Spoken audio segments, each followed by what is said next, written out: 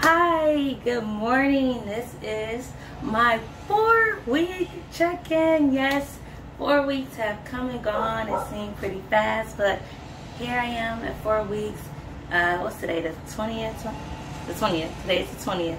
Um, and this morning I weighed in at 147 it did say 146, but then I started running around and then it said 147, but we're gonna roll with 147, I guess. But 147 four weeks ago, I was 152, so I lost five pounds. Yep, it's still early, don't judge me if my math is a little off, but yeah, uh, five pounds. So that's not um four weeks. I mean that's roughly about a pound a week and a little change here and here. But um, yeah, I'm I didn't reach my 140 goal, but I'm gonna continue doing what I've been doing these past four weeks, and that's working out, working out, um, keeping my carbs low.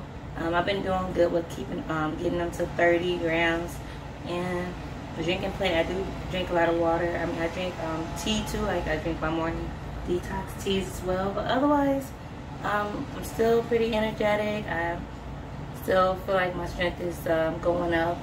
My endurance is going up as well and I feel good.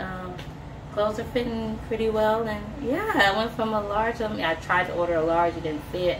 I had to sell my outfit and ended up ordering medium, medium, and that fit pretty well. So it's going good. And